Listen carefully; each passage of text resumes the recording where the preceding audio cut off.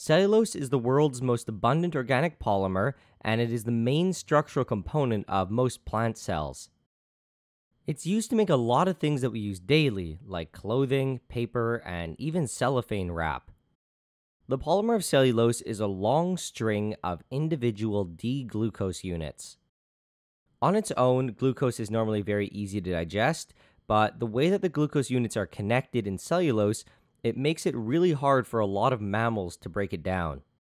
In the production of cellophane and rayon, which is basically a cellulose fiber that's regenerated from various sources, it's necessary to first dissolve the cellulose. There are actually a handful of solvents that are capable of dissolving cellulose, but I think that Schweizer's reagent is probably the easiest to make. Schweizer's reagent is a complex that's formed between copper hydroxide and ammonia, and when this is in water, it's capable of dissolving cellulose. What we need to make this Schweizer's reagent is copper hydroxide, which we made in a previous video, and aqueous ammonia, which is also known as ammonium hydroxide.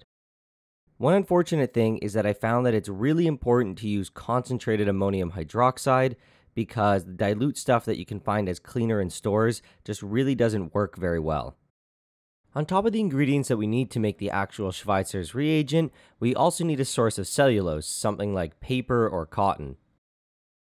Anyway, to get things started, we pour in about 100 milliliters of aqueous ammonia into a beaker. Then, directly into the aqueous ammonia, we pour in about 2 grams of copper hydroxide.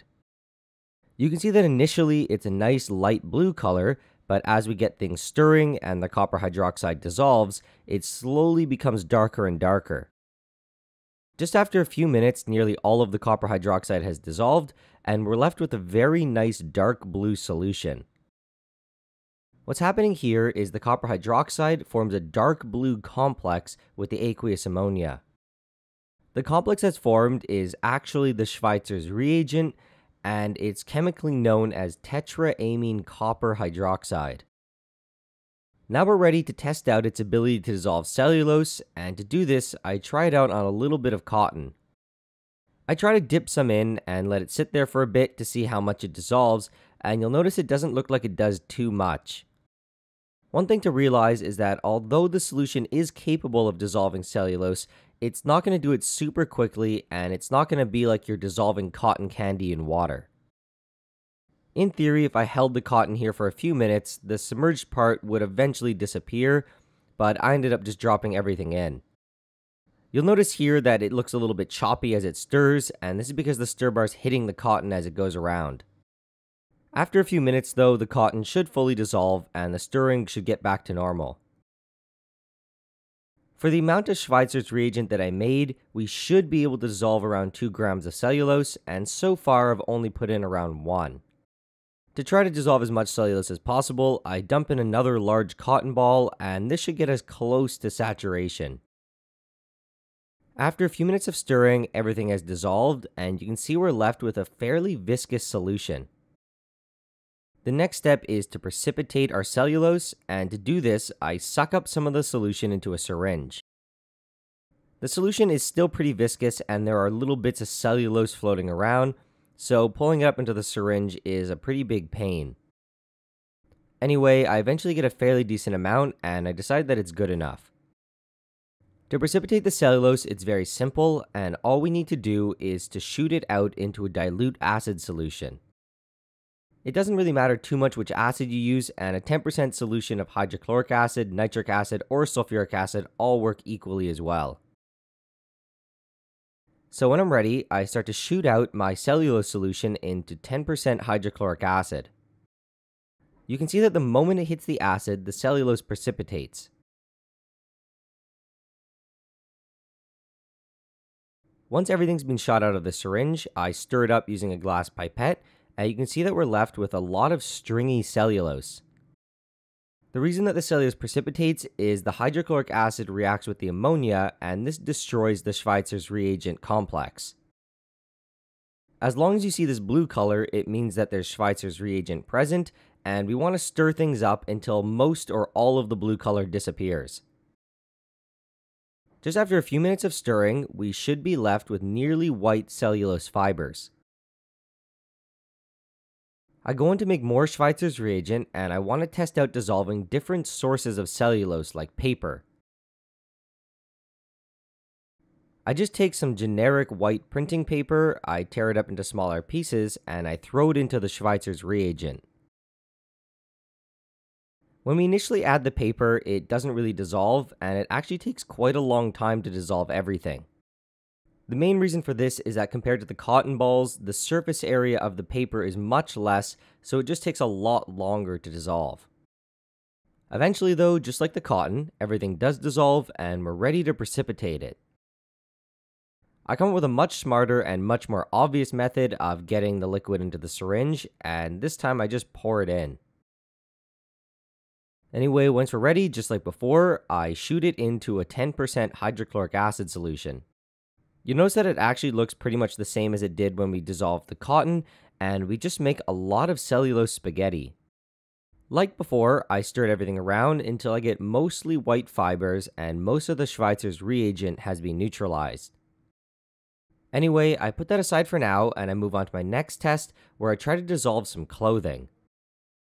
I cut a small strip off from a 100% cotton shirt and I chop it into small pieces and add it to the Schweizer's reagent.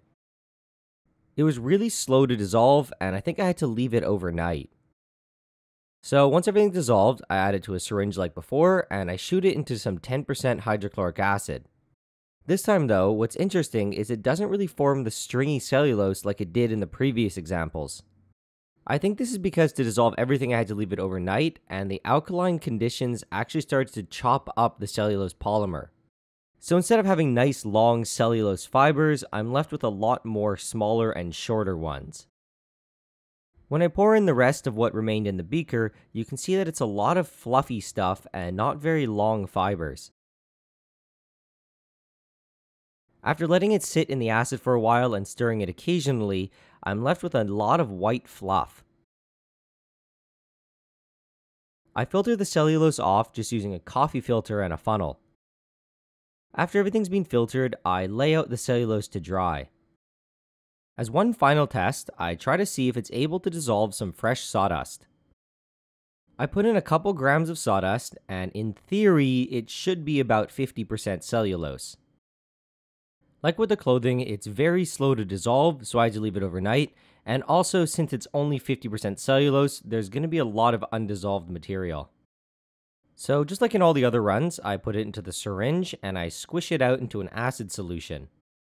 The cellulose that we used was sawdust and it wasn't long fibers, and on top of this, it had to sit in the alkaline solution overnight, so the particles of cellulose were really small. I didn't have enough acid to neutralize all of the ammonia, so I had to add in a little bit more HCl. Once the acid is added, we stir things up and then let things settle, and you can see we have very small bits of cellulose floating around. As we let it stand, the small bits slowly float to the top of the solution. When we look at the bottom of the beaker that we dissolved it in, we can see there's a lot of undissolved material that remains. So just like before, to separate off the cellulose, I filter it through a coffee filter. Once everything's been filtered through, I leave out the nice dirty brown cellulose to dry. As just one final test, I prepare some fresh Schweizer's reagent, I dissolve some cotton in it, and I pour it out onto a watch glass. What I'm trying to test here is to see what we're left with if we let the solution completely dry out. As the solution evaporates, so does the ammonia, and our Schweizer's reagent complex slowly falls apart. Because of this, when everything's fully dry, we're left with an intimate mixture of copper hydroxide and cellulose. To separate the cellulose from the copper hydroxide, I add the copper hydroxide to a little bit of water and then I pour in some hydrochloric acid.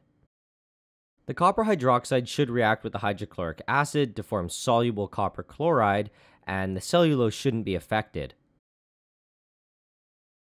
After we add a little bit more hydrochloric acid and stir things around, we're left with a slightly green solution of copper chloride with cellulose floating around.